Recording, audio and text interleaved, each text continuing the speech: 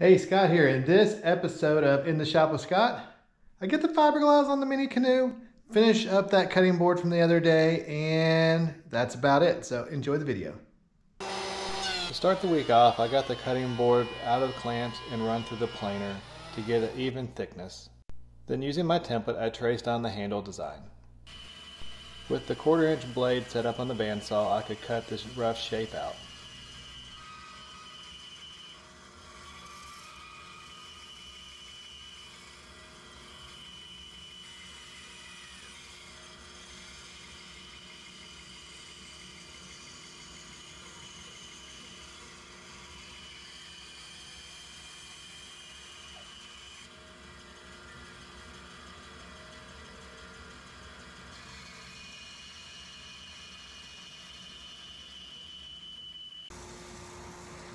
I used the belt sander to smooth out any saw marks that were left behind and then rounded over all the corners.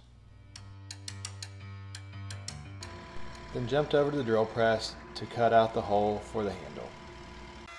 Last but not least, I rounded over the edges of the board with a quarter inch round over bit. I mixed up some wood glue and sawdust to fill in any gaps that were left from planking the canoe. While the glue was drying, I put the 1 8 inch bandsaw blade on that I ordered and cut out another reindeer. It's been a couple weeks, so it's fun to do this again. With the glue now dry, I've turned my attention back to smoothing out the mini canoe, first using my scraper and then working sandpaper 80 grit up to uh, 220. Before I could start the fiberglass, I need to give a good wipe down with alcohol.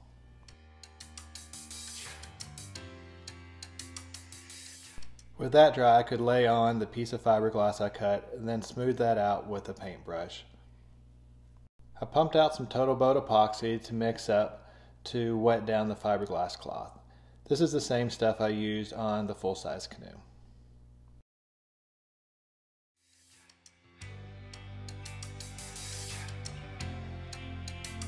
With the epoxy thoroughly mixed, I could now start applying and wetting down the cloth. It's always really cool to see how the cloth disappears.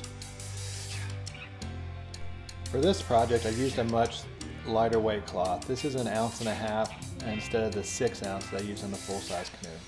It really doesn't need to hold any weight. I just wanted to have a good shape to the canoe and something that I could sand out uh, for a nice smooth finish. I just continued working all the way around applying the epoxy to saturate the cloth. With the epoxy setting up I could come back and squeegee off the excess. This was probably the one step that was a little tougher on the mini canoe than on the larger canoe. With that first coat now tack free, I could add a second coat to fill in any of the weave or dry spots. And then we would do the same squeegeeing process on this as well.